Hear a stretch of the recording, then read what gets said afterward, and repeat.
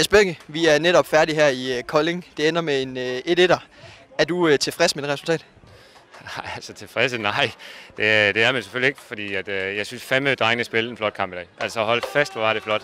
Vi spillede dem, og hvis man ser kampen igen, så vil man også kunne se, at vi spiller dem jo rundt på røv og har sagt. Og man kan se, at der er en frustration i deres, i deres spillere om, hvad fanden der lige sker her.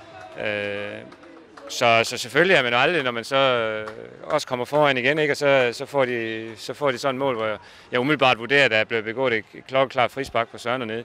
Men det er jo selvfølgelig altid en vurderingssag, og, og det er selvfølgelig lidt ærgerligt. De scorer øh, på en dødbold, og det vidste vi godt, at vi skulle være lidt opmærksom på. Irriterer det dig? Ja, det gør det jo altid, fordi det er de der lidt nemme mål, men omvendt så vil jeg også sige, at øh, hvis der er blevet begået frispark, så kan de jo ikke rigtig gøre noget, drenge, så skal de jo ikke klantes for det. Fordi det er jo ikke, øh, det er jo dommerne, der skal vurdere og, og dømme det. Altså, så kan vi jo ikke, hvis vi også skal, skal redde det, så, så bliver det svært. Så selvfølgelig er det altid ærgerligt, at der kommer mål imod med, på en standard, men omvendt så, så burde der måske have været dømt et eller andet. Og hvis øh, man lytter lidt her i baggrunden, så kan man godt høre, at der er god stemning. Kolding er netop øh, rykket op i første division med, med det resultat, som Brabrand også øh, leverer. Det er vel heller ikke helt sjovt at, øh, at være en del af at, sende dem op? Ah, det tænker jeg ikke så meget på. Det er jo fedt for dem.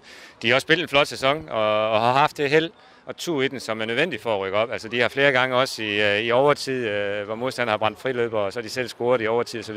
Men det er jo noget af det, der skal være, hvis man skal rykke op. Og der kan man sige til sammenligning med os, der er vi været lidt mere hårdt ramt. Altså vi har måske lige manglet den sidste held, øh, uden at øh, fodbold det bliver bygget på held, men nogle gange kunne det være rart, hvis man havde lidt mere af det. Du sagde også inden kampen, at øh, Kolding, øh, som en af de hold, som ligger oppe i toppen, at det var også et hold, vi skulle måle os med. Øh, gør vi det med rette? Ja, fuldt ud. Og jeg mener sgu helt ærligt, altså jeg mener, at vi er det bedste hold.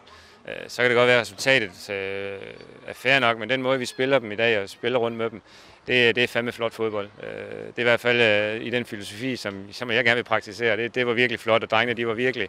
At man kunne ikke i dag sætte en finger på deres indstillinger, på deres måde at omgås bolden, og, og den måde, de håndterer hver situation ind. Og det, vi skal i hvert fald ikke skyld for, at vi er gået på ferie, fordi det, det kunne man ikke se i dag.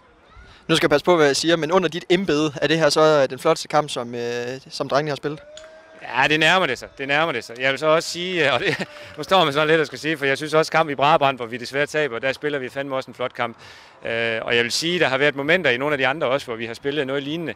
Øh, så, så jeg vil sige, det har jo været en proces, vi har været i gang med, uden at skal bruge det ord, fordi det er jo meget brugt i dansk fodbold. Men, men jeg, synes, øh, jeg synes, man kan se nogle tegninger, jeg kan synes, man kan se på drengene, de øh, begynder at trives mere og mere i det. Og det gør også bare, at øh, der er forhåbninger for fremtiden. Tak for det, Begge.